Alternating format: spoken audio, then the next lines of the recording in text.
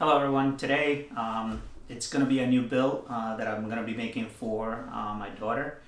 Her computer just died um, about a day ago, so you know I I'm kind of going to be building a brand new one for her. Uh, it's going to be 10 times better than what she had before. Um, so I'm going to run you through the list of the items that we chose for this build. So for starters, we are going to start from right to left. And right now we have the uh, Ryzen uh, 2600X, 6 cores, 12 threads. Uh, CPU, this is a fantastic CPU. Uh, base uh, boost, it, the base clocks is um, uh, 3.6. That's the base clock on it. And the boost is going to be 4.2. So she's going to be a little bit of homework, schooling, and um, light gaming. So uh, but then again, it has potential to grow if she wants to, um, you know, uh, improve upon later on down the road. Um, so then we have the CPU, so that's what we have. For motherboard, we chose the uh, ASA um, uh, Aorus uh, Gigabyte, um, the Gigabyte B450 motherboard Pro Wi-Fi. Um, the, the, reason why I chose the Wi-Fi edition, it's um, simple, you know, um, $10 less than the non-Wi-Fi. Uh, I mean $10 more than the non-Wi-Fi edition.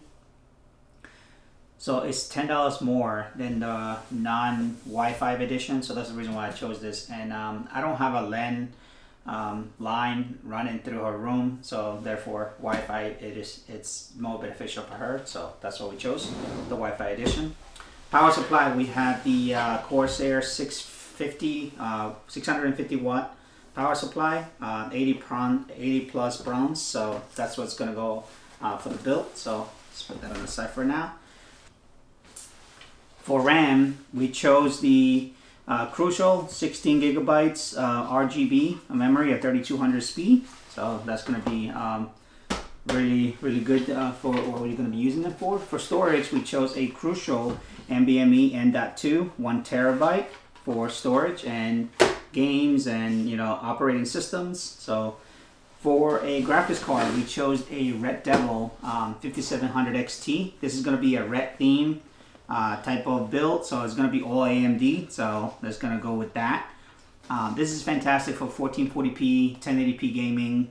Um, pretty much anything that she can throw at it for school, whatever it is, she's this computer is going to be able to handle it.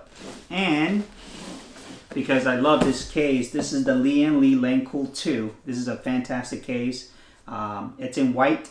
Uh, it comes with like some strips of RGB in the front, so it looks pretty good. Uh, it comes with three fans pre-installed.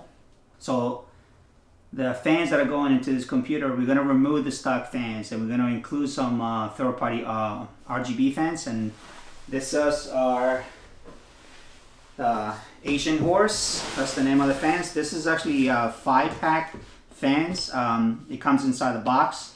Uh, there's five fans inside the box and um, it comes with the hub.